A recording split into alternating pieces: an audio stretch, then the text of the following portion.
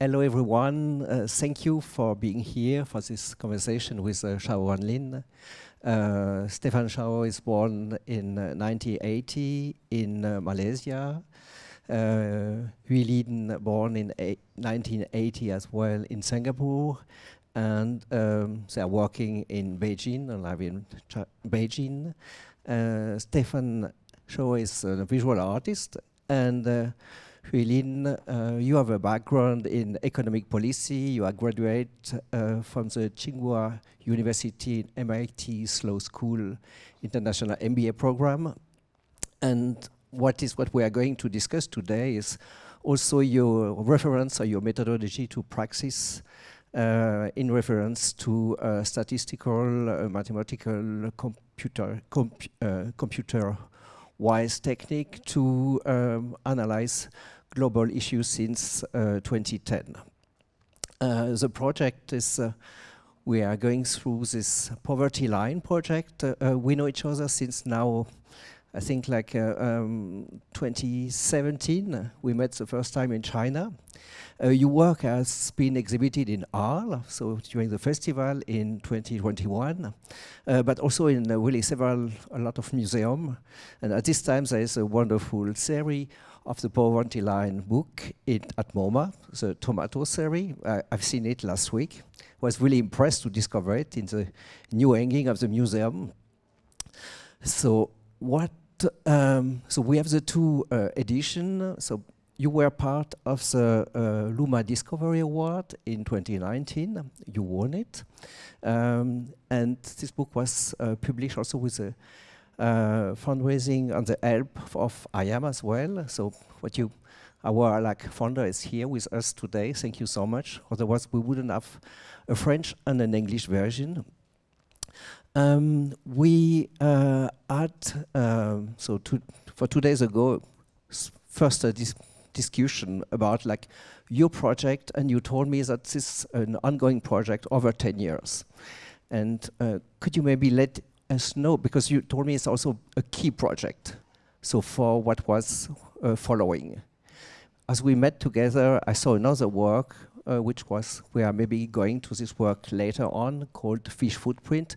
But this was a kind of like generic work to start to work on uh, the notion of poverty. How did you start and why did you start on this topic right now? Um, thank you very much for the in kind introduction. Um, and we're really, really happy to be here today um, to share the story about creating our work and our, our practice going forward. Um, so yes, this, this, the poverty line really brought us very incidentally into the path of um, creating art. And um, like our backgrounds are, are quite different. Um, myself, I was trained in economics and little business administration. Um, Stefan is a photographer. Um, and we were just very curious individuals, and as a couple, we discussed a lot of the issues that we're concerned about. Um, so back in 2010, um, we, we were discussing a lot about um, social phenomena and uh, in particular poverty and inequality that we saw um, where we're living in China in different parts that we visited also back in uh, Singapore and Southeast Asia and when we visited America or Europe uh, and India and so on and we realized that you know such social phenomena are, are really um, in a way universal, but yet also very localized in the context.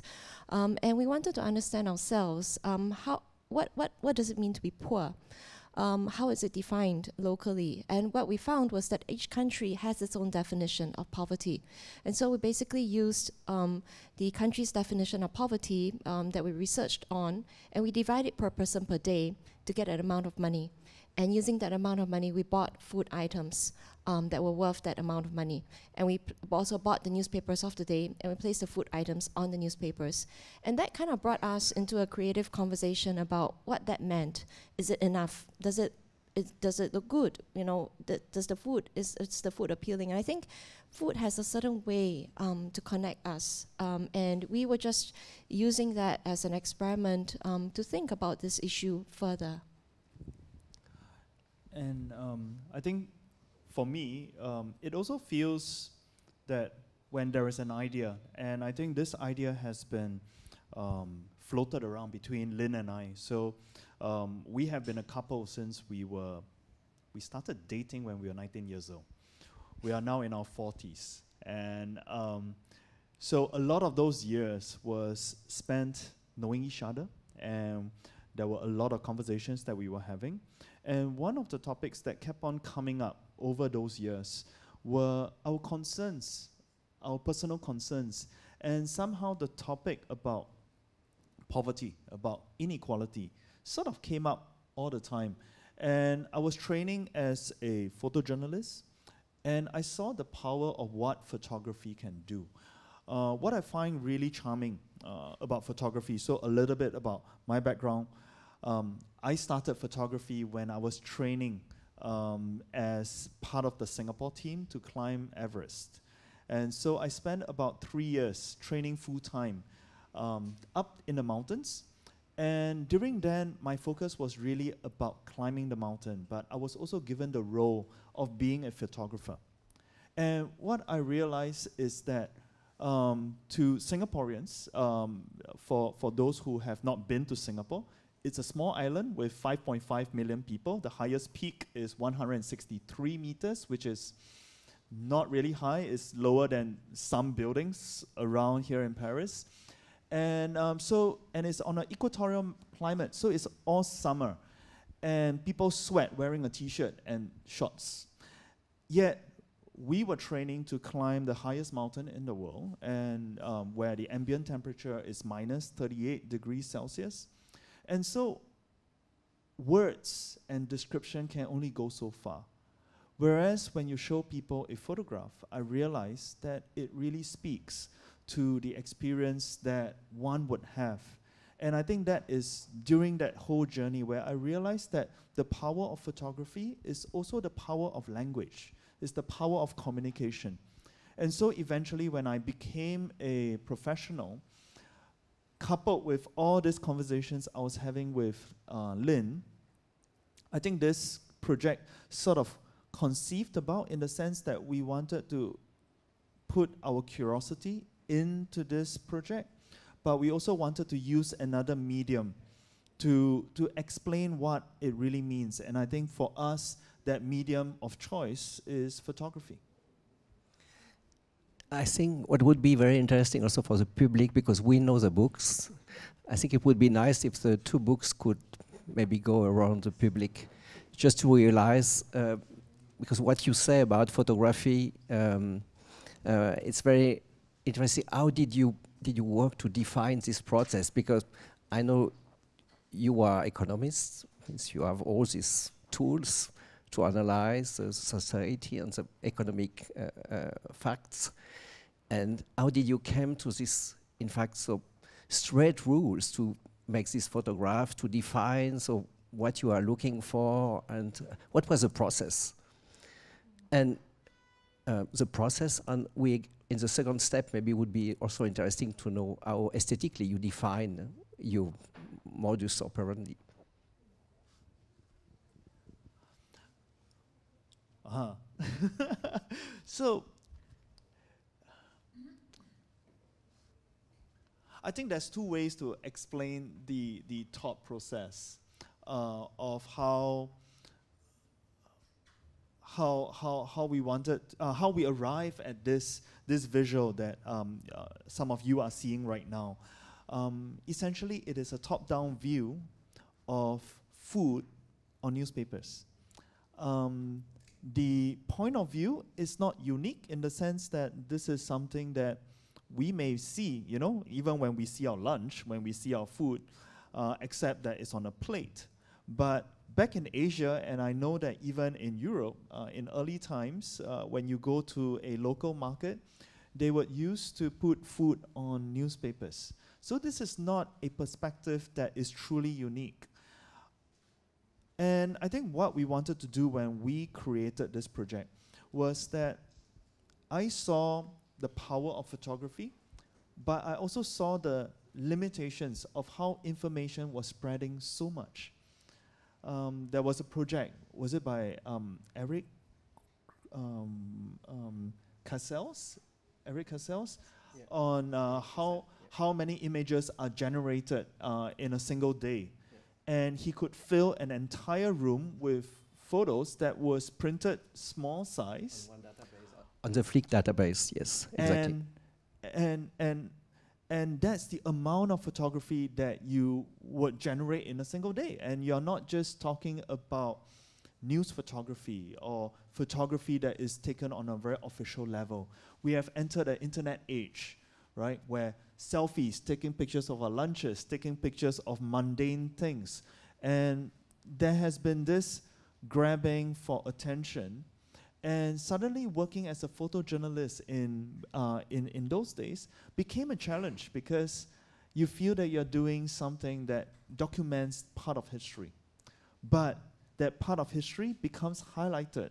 Maybe used to be at least a day because that's when newspapers were published every single day and some of the top magazines around the world are um, published every week or every month. And so those images have a slightly more permanent way of burning into the human consciousness.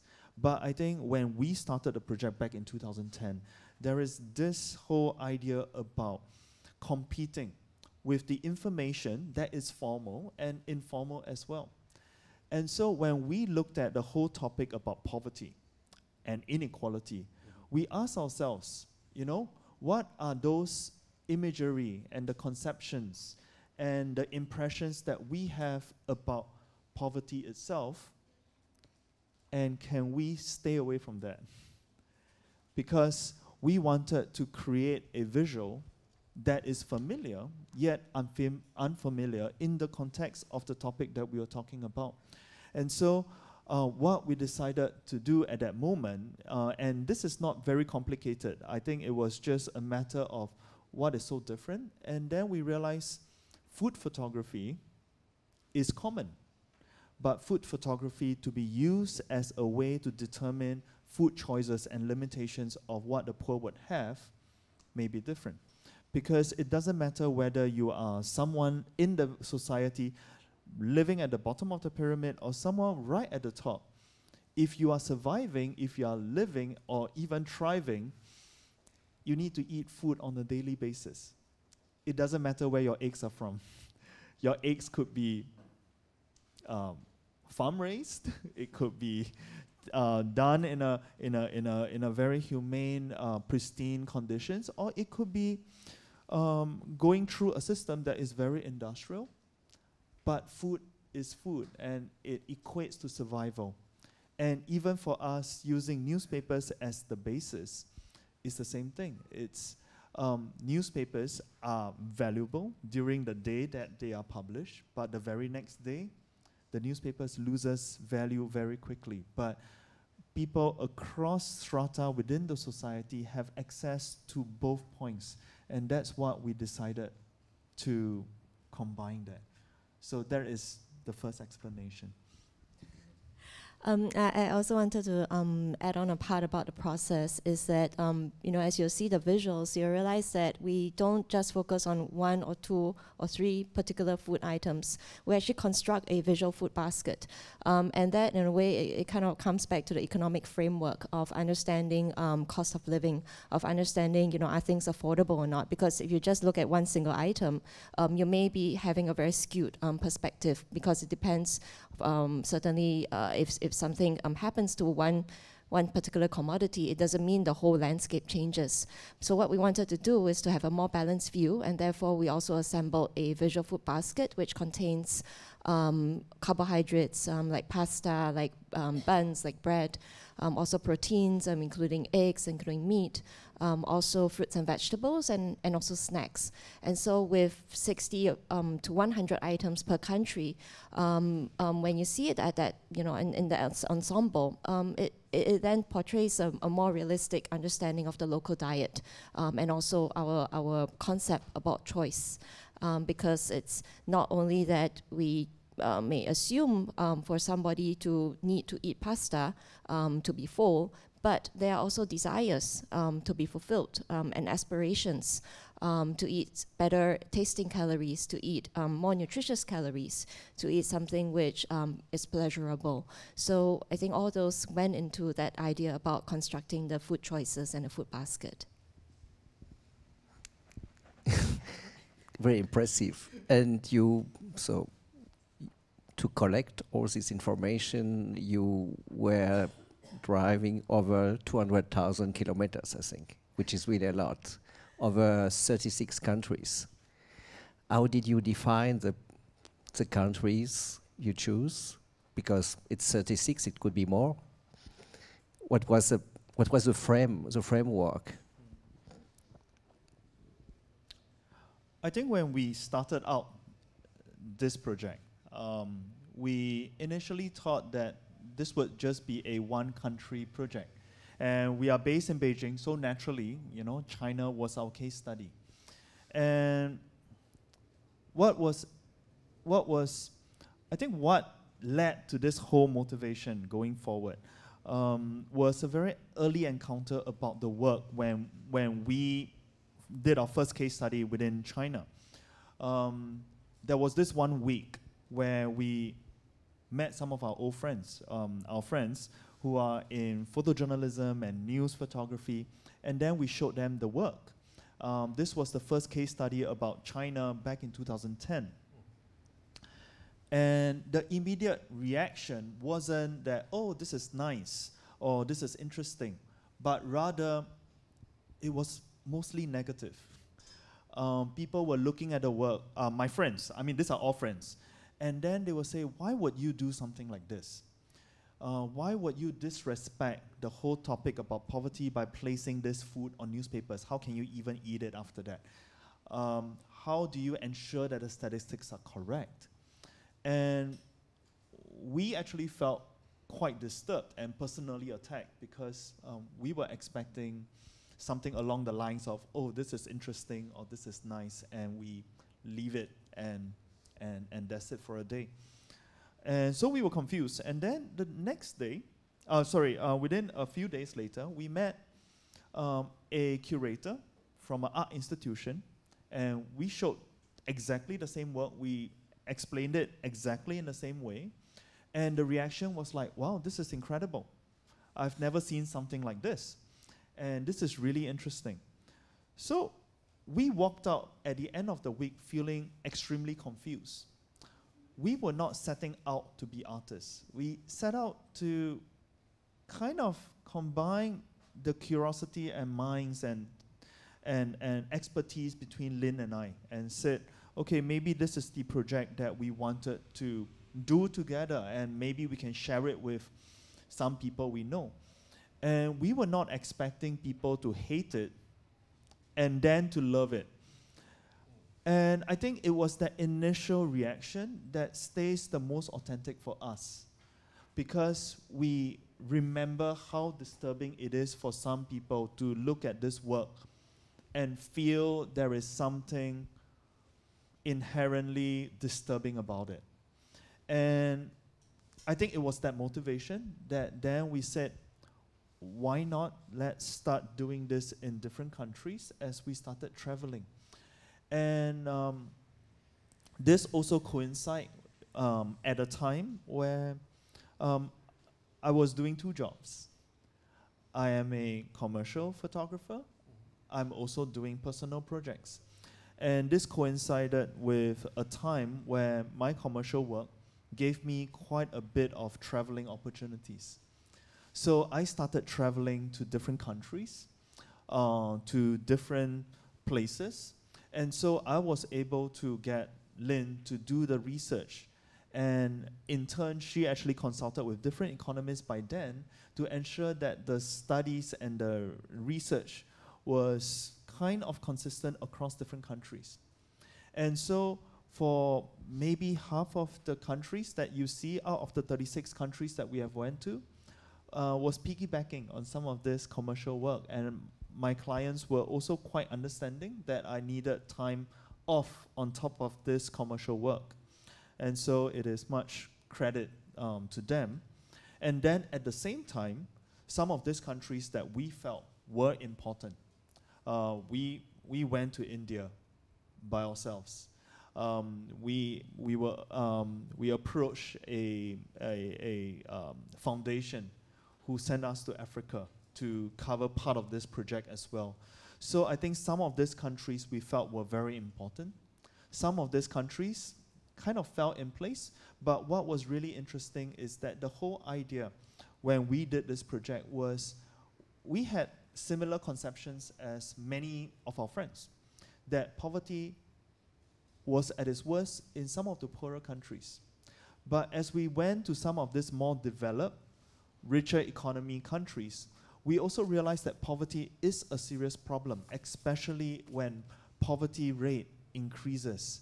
And this whole sense of uh, inequality is not just um, difficult for the country, it can also be de destabilizing. And so that's why among the 36 countries, in fact, uh, in the last two months, we've, we've added two more countries. So 38 countries and territories. Um, it is a good mix between six continents among developed and developing countries, countries that are perceived as rich and countries that are perceived as poor. And in each of this country, poverty is a situation that is unique and a problem um, that, that, that needs to be solved but cannot be eradicated completely. Yeah, I remember as we, we spoke about uh, poverty, you associated towards inequality, as you just mentioned, and security, uh, which was, so for you, the kind of like triptychal about the key of, uh, of poverty right now. Um, how could you, so you, Lin, you, you, you work with, with a specialist uh, in, in, economy to define the criteria to select so uh, the food and that uh, every uh, that the analysis is correct. How long did you, or uh, how did you work with them?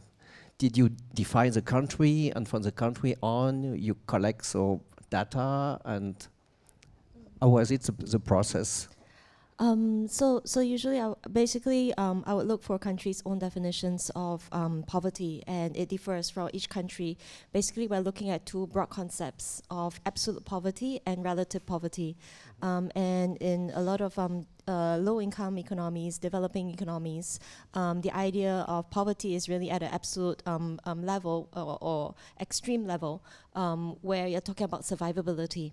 And um, for example, they'll start with a basis of needing 2,400 calories a person a day to be able to work and, and survive.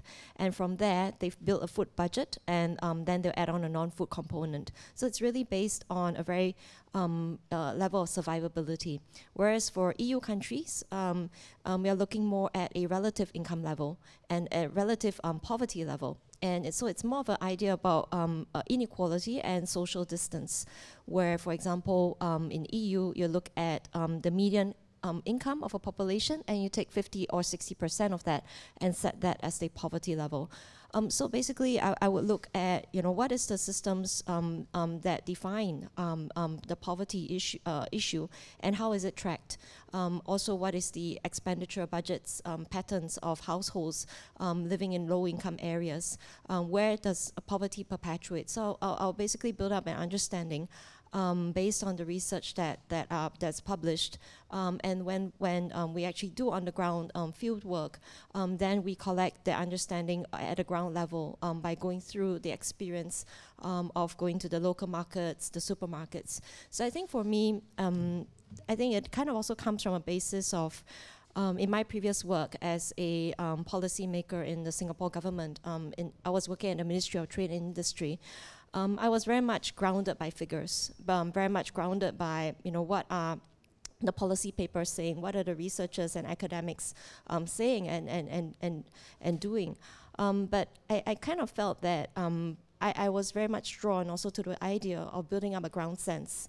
Um, and for me, when we started this project, um, I, I also wanted um, this to have that ground sense in place so that you kind of have a macro um, view of, of understanding the issues, but at the core of it, Um, it's really the day to day that matters. And, and, and I think that in, in our process of doing the research, it needed to bridge that part of the macro, um, the academic rigor, but also have a very strong sense on the ground of what is happening. And did you take, uh, regarding the aesthetical decision to make the photograph, so which kind of style are you going to use? Uh, what, how are going to be the photographs? Was it a common decision, or was it you just use different? I think everything. just to understand the, how you yes. were. So I understood so mm. part of the research, and it's. I think it was very clear. I think the appearance is that we seem to agree on a lot of things. but the fact is we don't. and I encroach into her sense of looking at the research, and she also comes into the aesthetic decisions that um, I make. It's because I think inherently um, the project is not about beauty. It's not about showcasing um, um a group of food items on newspapers in the most uh, attractive way possible. For her, the motivation initially when we did this is to show the food as plainly as possible so that you can kind of deduce the quantities of the food because ultimately it is the quantity of the food that you see in the newspaper that is important. Whereas I was trying to make creative decisions to make it seem interesting, and very often it is very difficult to balance the two. So there lies a lot of argument that happens in between. And I think when, for the aesthetic decisions that, that we were making, because I was a little bit more trained uh, in the visual arts uh, earlier on, I was also looking at references and looking at some of this um, uh, um, what past masters and past influence have created for us. And I would point it to two references um, that led us to accept collectively that this is the way going forward, where this is just a top down view. The lighting's quite even with a little of a spotlight kind of in the middle, but the food themselves are always plainly shown. And one of them would be the Bechers. Um, uh, and Hilla Becher, um, who is a German couple who was born in the 1930s. And so um, their very seminal work that was recently um, done as a huge uh, solo showcase at the Met Museum. Um, they photographed water towers across Germany and other parts of Europe for a good period of 20 plus, 30 years. Um, and the typological way of how they approached the subject was very attractive for me then. Um, and another aesthetic that I would say was a influence um, are thangkas. So during my time uh, spent in the Himalayas, um, I saw a lot of thangkas uh, in the Tibetan region, in the Nepali region, and um, and these are thangkas and mandalas that are painted in very detailed um, sequences by artisans. And it always looks round and it looks very symmetrical. And then when you wonder what it is, it's actually the top down view of a stupa, of a temple. And, and what is really interesting about the, the, the idea of a stupa is that when you look at it, it denotes peace but at the same time, it is also a blueprint of an architectural drawing, which gives you information on top of, um, of a feeling that most viewers feel a sense of um, um, spiritual connection. But what inherently it is, is about the beauty, about design, about symmetry, about balance. And so when we created the work, I consciously looked at the first influence, which is uh, the Bechers. And you met, I think, uh, Hilla, you told me. Sorry? You had a meeting with Hilla Becher. Yes. Yeah. And I met Hilla Becher before she passed in Beijing. And it was such an incredible honor uh, meeting her and also showing her the work, the exhibition. It was our first exhibition uh, back in China back in 2012. And, uh, and the second influence that I mentioned about the stupas didn't occur to me. It was not a conscious um, decision. I don't think that that was in my mind when we created this. But then I brought my daughter uh, together to the Everest Base Camp when she was three years old. And we were inside a old stupa. Uh, sorry, we were inside a old temple. And she was pointing to some of these paintings. And she was asking me what this is about, the mandalas. And I explained, well, it's a drawing of a temple from above. And that's when I realized that all the years that I've been spending in the Himalayas, climbing as a mountaineer, you have all these subconscious um, impressions that is burned into you. You know, you you uh, when when I was a climber, when I asked people who have done it before me, I said, "Does climbing the mountains change you?" And then they say, "Absolutely," but you wouldn't know what are the changes that have made you. So so you can see that the aesthetic um, uh, reasoning behind was a combination of conscious and subconscious influences. Yeah, thank you very much.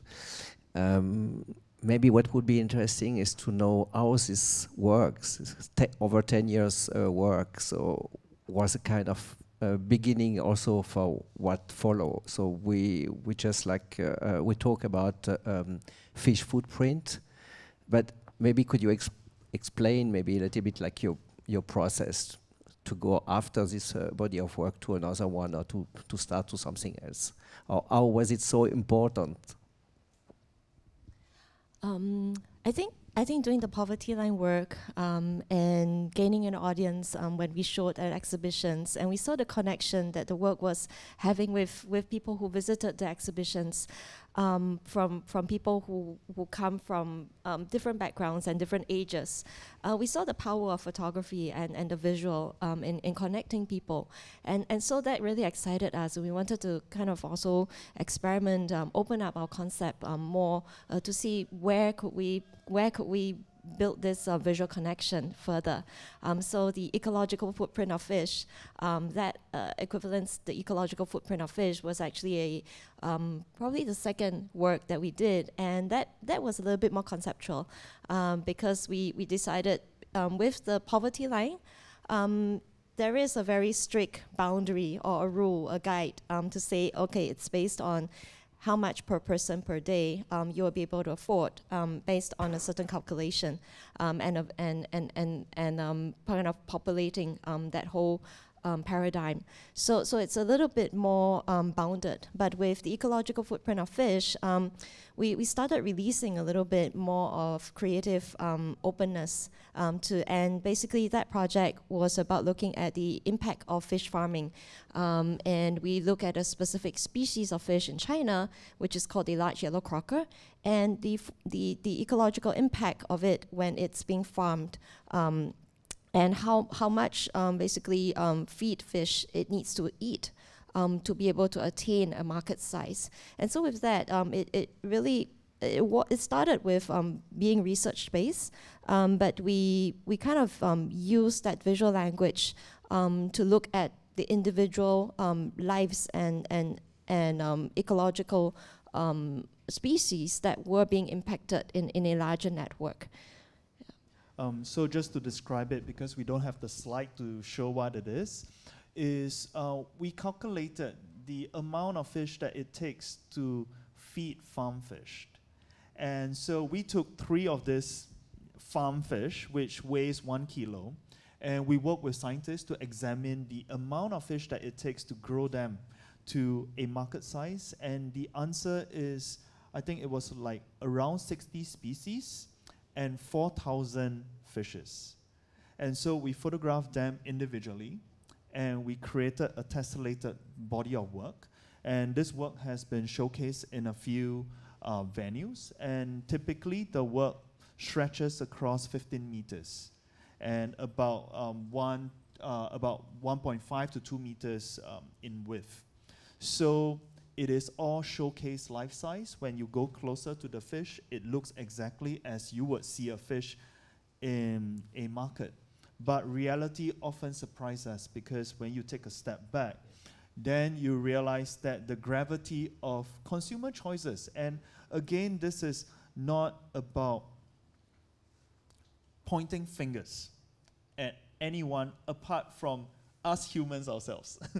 because um, we visited the fish farmers. They were making a living as hard as they could, and they were also pressured by the economy. And this is a way which is healthy because uh, the alternative would be to use chemicals or to use industrial feed.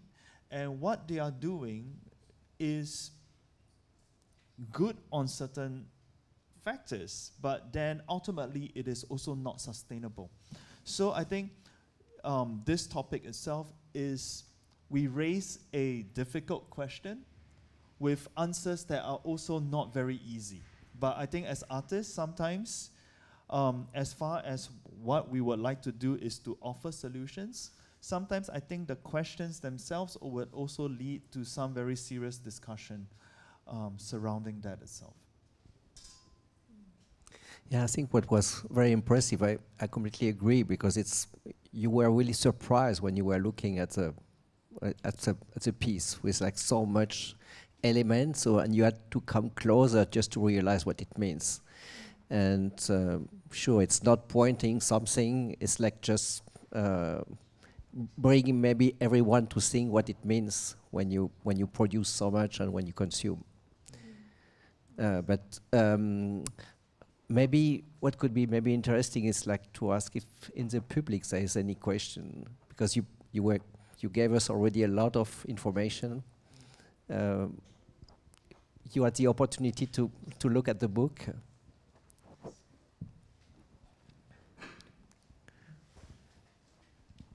Uh, hello, uh, thank you for the presentation. I missed the beginning, so maybe you spoke about that at the beginning. I was wondering if you consider in, in your consideration about poverty, you took at some point the lens of gender because women in the world are so much poorer.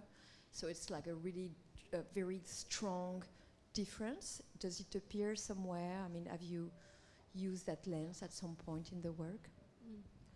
Um, we we don't specifically um, uh, put that in the work. But I think um, it's very important the role of women um, in society. But it differs from the social structures of, of each country, and therefore the contextualization of it um, is important as well. Um, what we've found is that uh, we we are kind of basing we, we are basing our calculations um, on the policies. And very often the policies are agnostic to gender in terms of who is defined as poor. It it boils down to a certain amount of money, and it doesn't it, it doesn't differ whether the head of a household is a female or a male. Unfortunately, um, that that is the case which the policy is, is is set, and so therefore we use that definition and we point back, but using a visual representation of that policy definition. And I think in the end, for, for, for the audience um, to engage in the work and to think, is this is this how is the policy to be viewed um, within the lens of that society, within the lens of that political um, um, perspective and, and expectations, um, and we want to have that conversation. Um, so that that is um, one one one one uh, aspect of that visual. the other thing is that we realize certainly when we go to the markets and, and supermarkets to purchase the food items, women are a very important part of the household in making decisions on purchases um, for food, um, especially for families. And therefore, it is very difficult um, um in, in, in, in a lot of places when women are having uh, multiple roles um, in the family as well as um, in, you know, uh, within uh, income generation to hold, job, hold down jobs when they are also expected um, to cook for the family. And that leads to also certain situations where um, you may not get as nutritious meals because the woman is trying to handle um, cooking for the family or, or having enough food on the table by using certain convenience foods and so on. So I think it's a complex issue when we talk about the role of gender, um, the role of women um, within the family context, within the household purchasing decision, and how do we broaden um, the understanding of these issues which surround um, poverty um, and and uh, circumstance. So I think yeah. So so that's that's a kind of a long answer, but I think it um, the doing the the work itself and kind of observing um, the social structure uh, when we visit the places. Um, and, and do our own research um, certainly highlights to us on the importance of gender. Thank you.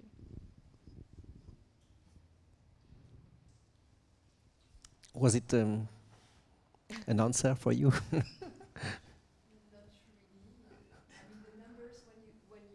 when you see the numbers of the, for instance, the IMF, like the the International Monetary Fund, who makes analysis of poverty on the planet, they show that, for instance, women own 10% of global ownership, whether you know real estate, goods, uh, financial properties, any all from all pop. So it's like 10% is owned by women, and it's like really a dramatic number. I, I, I saw that number quite recently, and I was really shocked because I mean we're aware that women make less money, are more exposed to precarity, poverty, but that number just struck me 10%. I mean it's half of the population of the, and I think it's it could be uh, an information to show something to show in a project like yours, mm. but. Um, that's why I'm asking the question to drop that idea and that information in the debate as well. Yes. I mean, to, I mean, thanks for that question because I think it's a it's a very important um, question. Um, I think when we address when we started the poverty line, we do realize that we are not able to cover all bases. Um, so in the in the project that we do, um, I think when we before we even started taking our first photograph, uh, I remember Lin started emailing different economists to just get an understanding if a project like this would even be agreeable with different economists. Because um, it is one thing to say, okay, uh, let's decide among ourselves and let's create this project and, and, and, and let's just run with it. Um, Lin was actually doing preparation work. Um, and, and looking back, this is, this is uh, really important because um, I think that when she started doing the research, she wanted it to be more or less agreeable. Like, like you can never get 100% um, um, agreement from, from any faction, and you certainly cannot cover all bases with the project that we were doing. Um, I mean, one of the critiques that we often get is that our project do not show poor people. Uh, and our project also do not show the conditions of all these countries because I have physically gone to every country and uh, each of these places. But then, even then, we also realize that um, uh, some of the critique that we sometimes get is that, well, in the USA, you are doing this in New York, but New York is not USA. And just the same as when we were doing this in China, we were doing this in Beijing. And again, you know, Beijing only is the home of 20 million people in China, and there's 1.3 billion, of which about half of them live in the rural areas. And so there is, um, there are um, assumptions that we have to make, and we actually make that very clear in the work that we do, including even showing the month where the project is conducted, because um, seasonality also determines on how food prices would fluctuate within um, a year itself. Um, but in my own experience, you know, going onto the ground and photographing um, the poverty line, I also encounter people. And I think one of the biggest learning that we actually have is that we think that poverty is something that you can see. When, when, when, so I will, I will use one um, example. Uh, I was in LA I wasn't doing the poverty line there, but I had some friends who knew the project that I was doing. And I met a professor of photography. And I was explaining the project to her, and I was explaining what methodology we were doing. And then she asked me, she's like, What is the food budget that a poor person would have in a single day in America during this time? And I said, Well, based on our calculations, it's about $5 US. And she's like, Is that for a meal or for one day? I said, That's for one day, depending on how many meals you eat. I mean, based on our own research, a poor person would not have three meals a day. They would usually have less. And then um, she also asked, it's like, well, that's what I spend for food. And then suddenly we were having lunch, and I looked across and I said, wait, are you telling me something that I wasn't expecting? And she's like, um, what's the income level that you are looking at that is uh, defined as poor? And when I told her, she's like, yes, I am living at the poverty line. And so this was very curious for me because I was meeting a professor of photography and she was a former printer for Magnum. So she used to print prints for Magnum uh, agency.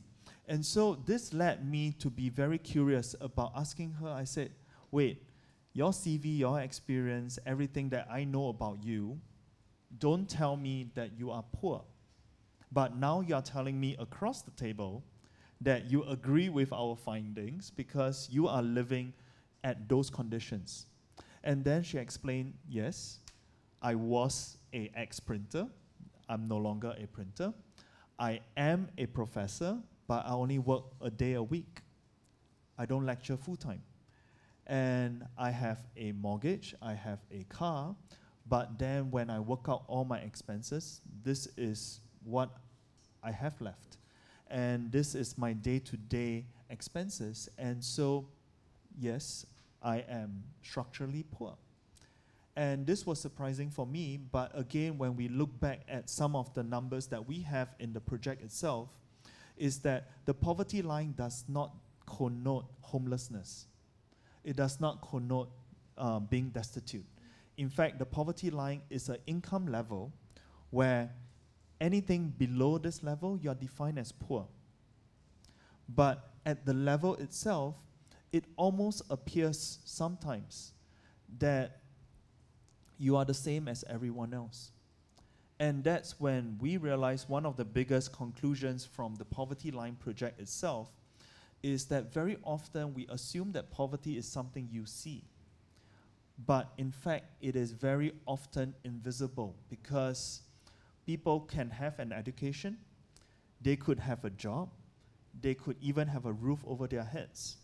But due to circumstances, it could be household size being too big, or you have people to support, or you are working in a structurally minimum wage job for a long time, and somehow those wages have not increased. And we are not just talking about countries like America, we are also talking like countries in Japan, um, in Cambodia, and, and, and different parts around the world. So, what we realize is that when we created the poverty line, the whole impression that we have about the poor is something that we feel we can see. But very often, it's not something we can see, and that's why it has become such a problem when we started the project back in 2010 we remember that poverty wasn't a sexy topic.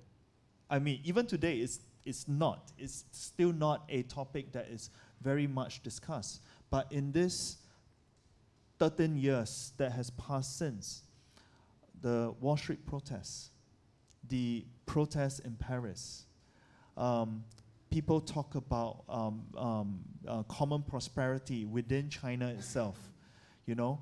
Um, so every continent seems to be going through this whole cycle about discussing what to do and how to contain this problem or to at least keep it minimal. And I think that's the reason. And, and this is just a problem that will become bigger as technology improves because as technology improves, you will have people who will gain from this system and then you will have people who is left behind. And these people, they are they have done all the things that are the right decisions in life, but somehow they have been left behind by the system. And this is something that we realize is happening. Yeah, thank you very much. I think it, it was a very nice conclusion. If there is any other question, maybe we we are going to close this discussion, if it's fine with you. Thank you very much. Thank you, Sharon Lin. Thank you. Thank you. Thank you so much.